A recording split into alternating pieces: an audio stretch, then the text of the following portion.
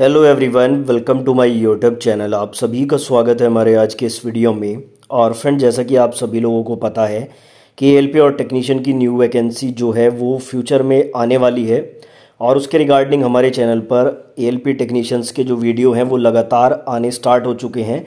आपकी जानकारी के लिए बता दूँ, इससे पहले मैंने तीन वीडियो अपलोड किए हैं। सबसे पहले आपको चैनल की प्लेलिस्ट में जाना है। बहुत सारी प्लेलिस्ट बनी हुई है। यहाँ पे एएलपी और टेक्नीशियन वैकेंसी की एक प्लेलिस्ट है, अभी उसमें सिर्फ़ तीन वीडियो अपलोडेड है।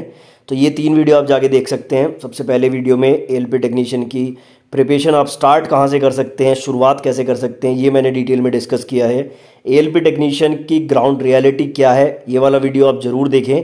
इस वीडियो को देखने के बाद आपको ये चूज़ करने में आसानी होगी कि टेक्नीशियन की तरफ़ आपको जाना है या फिर एएलपी की तरफ़ जाना है। ठीक है, आठ मिनट का ये वीडियो है, लेकिन ये बहुत सारी चीज़ें आपको बताएगा। और उसके बाद तीसरा जो वीडियो है, ये मैंने अपलोड किया था। इसमें आप क्वालिफिकेशन एज और इन चीज़ों को थोड़ा डिटेल में समझ सकते हैं। आईटीआई डिप्लोमा बीटेक ट्वेल्थ कौन कहाँ पे अप्लाई कर सकता है, कौन किसके लिए एलिजिबल है, वो चीज़ें मैंने डिटेल में इस वीडियो में डिस्कस किए हैं, ठीक है? फ्यूचर में ऐसे बहुत से वीडियोस आएँगे, इसलिए आप चैनल को भी सब्सक्राइब कर लेना। आज का वीडियो पूरी तरह से फोकस रहने वाला है सिलेबस पर।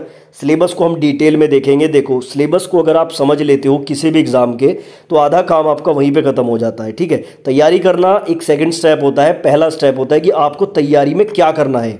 मतलब कि देखो, पढ़ने के लिए बहुत कुछ है, लेकिन क्या क्या पढ़ना है, किन चीज़ों से आपका सिलेक्शन होगा, ये चीज़ें यहाँ पे इंपॉर्टेंट रहती है। बेसिक साइंस एंड इंजीनियरिंग को लेकर काफ़ी स्टूडेंट परेशान है कि सर, जो बेसिक साइंस एंड इंजीनियरिंग है, उसका सिलेबस क्या रहता है, उसमें क्या पढ़ना होता है, और उसके बाद जो आपका सी बी डी टू का जो पार्ट बी होता है, जिसमें आपका ट्रेड टेस्ट होता है, उसका सिलेबस आपको कहाँ से मिल सकता है? देखो, जब आप फॉर्म अप्लाई करोगे, ठीक है, उस टाइम पर आपको एक ट्रेड वहाँ पे चूज़ करनी पड़ेगी अपनी ट्रेड के अकॉर्डिंग उसी के अकॉर्डिंग आपका पार्ट बी का सिलेबस रहेगा। तो वो सिलेबस आपको कहाँ से मिलेगा? बिल्कुल ऑफिशियल वो भी मैं आपको बताऊँगा।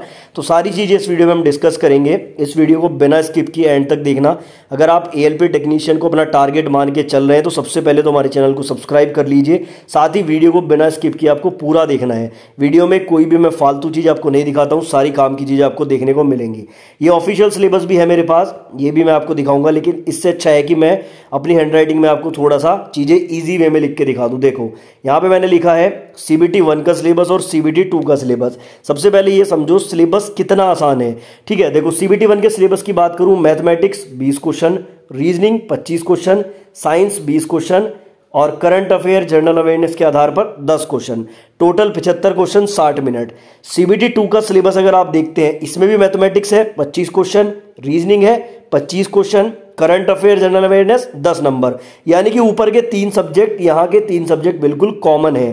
तो आप एक चीज़ देखो मैथ रीजनिंग करंट अफेयर अगर आप प्रिपेयर करते हो तो आप सीबीटी वन सीबीटी टू दोनों के लिए तैयारी कर रहे हो, ठीक है? उसके अलावा सीबीटी वन में साइंस अलग से बीस नंबर का है तो साइंस आपको अच्छे से पढ़नी पड़ेगी।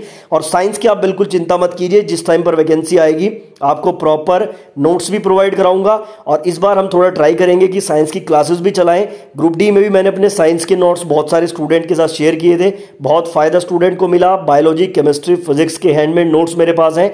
उसी से मैं आपको सारी चीज़ें देने वाला हूँ, ठीक है? अब यहाँ पे सीबीडी टू में एक चीज़ एक्स्ट्रा आती है बेसिक साइंस एंड इंजीनियरिंग और ये चालीस नंबर की है। तो बड़ा वेटेज रखता है और यहीं पे स्टूडेंट परेशान रहते हैं कि इसका सिलेबस क्या है। तो मैं आपको बता दूँ, कुछ भी सिलेबस नहीं है। अगर सीबीटी वन के लिए आप साइंस पढ़ रहे हैं, बीस नंबर का, जिसमें आप फिजिक्स पढ़ेंगे तो यहाँ पे ये मान लो कि कम से कम ये 25 नंबर की तो फिजिक्स ही आती है। 15 नंबर की मान के चलो कि आपकी जो बेसिक साइंस इंजीनियरिंग ड्राइंग वाली चीज़ें होती हैं, वो आती हैं, वो भी आपको दिखाऊँगा सिलेबस क्या है उससे पहले।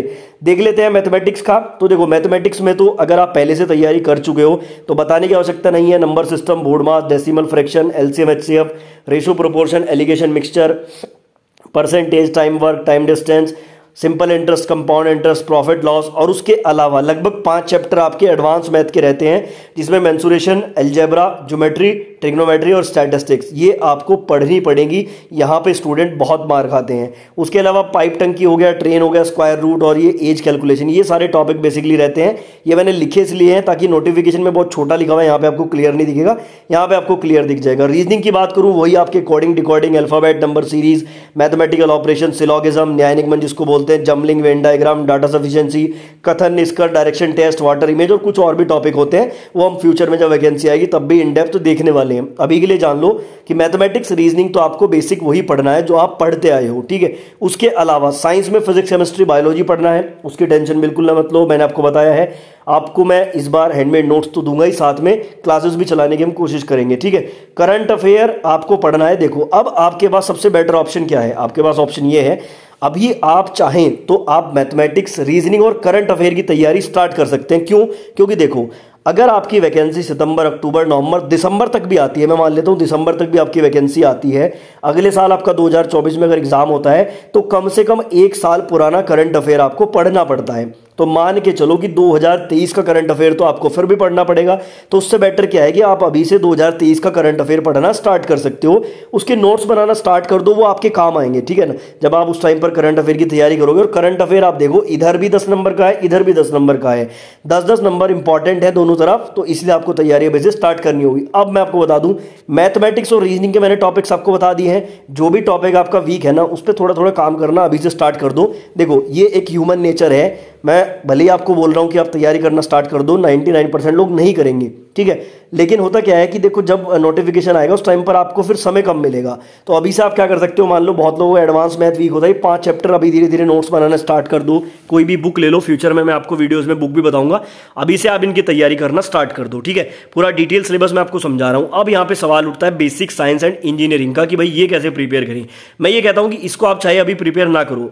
क्योंकि ह्यूमन नेचर ऐसा है कि जब वैकेंसी आएगी तभी आप इसके बारे में सोचोगे। लेकिन आप बाकी चीज़ें अभी प्रिपेयर करना स्टार्ट कर दो मैथमेटिक्स रीजनिंग करंट अफेयर ये तीन चीज़ें अभी से प्रिपेयर करना स्टार्ट कर दो। अब बेसिक साइंस एंड इंजीनियरिंग क्या है मैं आपको दिखा देता हूँ। इसमें सिर्फ़ एक रूमर बना हुआ है कि बहुत डिफ़िकल्ट होता है। देखो, कुछ भी नहीं है, अगर आप इसमें देखोगे, सबसे पहले ये इधर का हिस्सा छोड़ दो, यहाँ से देखना शुरू करो। Units measurement mass weight and density work power energy speed velocity heat temperature basic electricity lever and simple machines ठीक है? Occupational safety and health environmental education ये सारे टॉपिक आपने फिजिक्स में ज़रूर पढ़े होंगे, अगर आपने ग्रुप डी का एग्ज़ाम दिया होगा। मैंने जो अपने नोट्स शेयर किए थे, सारे टॉपिक उसमें ये मैंने कवर किए थे। अब उसके अलावा, मान लो कि 25 नंबर के तो यही रहते हैं, बचे हुए जो 15 नंबर हैं, उसमें आपके ये टॉपिक्स कवर होते हैं projections view drawing instrument lines geometric figure ठीक है? सिंबॉलिक रिप्रेजेंटेशन अब ये आपको कहाँ से पढ़ना है? कौन सा चैनल बेस्ट है? कौन सी बुक बेस्ट है? वो आगे फ्यूचर वीडियोस में आपको बताऊँगा। बाकी ये दिमाग से निकाल दो कि ये बहुत डिफ़िकल्ट है। इतना डिफ़िकल्ट भी नहीं है। ठीक है ना? इजिली आप इसको कवर कर जाओगे। तो ये हो गया आपका बेसिक साइंस एंड इंजीनियरिंग अब उसके बाद क्या होता है? ये आपका सीबीटी टू का पार्ट ए हो गया। अब सीबीटी टू का जो पार्ट बी है, जिसमें आपका ट्रेड टेस्ट होता है, वो सिलेबस आपको कहाँ से मिलेगा, वो मैं आपको बता देता हूँ। ऑफिशियल आप कहाँ से सिलेबस को देख सकते हैं? तो देखो आपको क्या करना है सिंपली डिस्क्रिप्शन में मैंने अपने टेलीग्राम ग्रुप का लिंक दे रखा है, वहाँ पे आपको आना है, वहाँ पे एक लिंक मैंने दिया है, इस लिंक पे आपको आके क्लिक करना है। जैसे इस लिंक पे आप क्लिक करोगे तो आप आ जाओगे इनकी ऑफिशियल वेबसाइट पे, ठीक है, जहाँ पे आपको अपनी ट्रेड के अकॉर्डिंग अब ये तो आपको पता ही है, आपने आईटीआई किस ट्रेड से किया है, ठीक है ना, आपकी ट्रेड कौन सी है।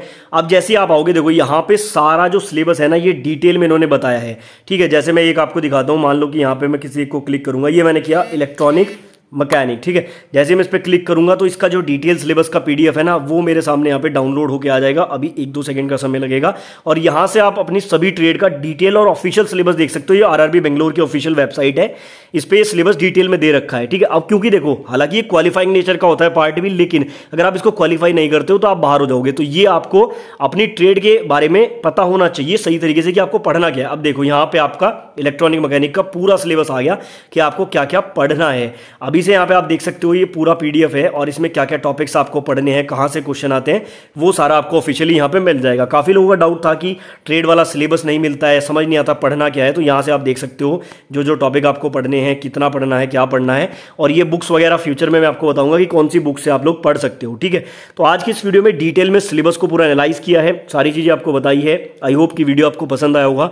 अगर ऐसी वीडियोस देखना चाहते हो तो चैनल को तो सब्सक्राइब अभी कर लो, साथ ही टेलीग्राम ग्रुप भी ज्वाइन कर लो। फ्यूचर में आपको बहुत सारी चीज़ें यहाँ पे मिलने वाली है।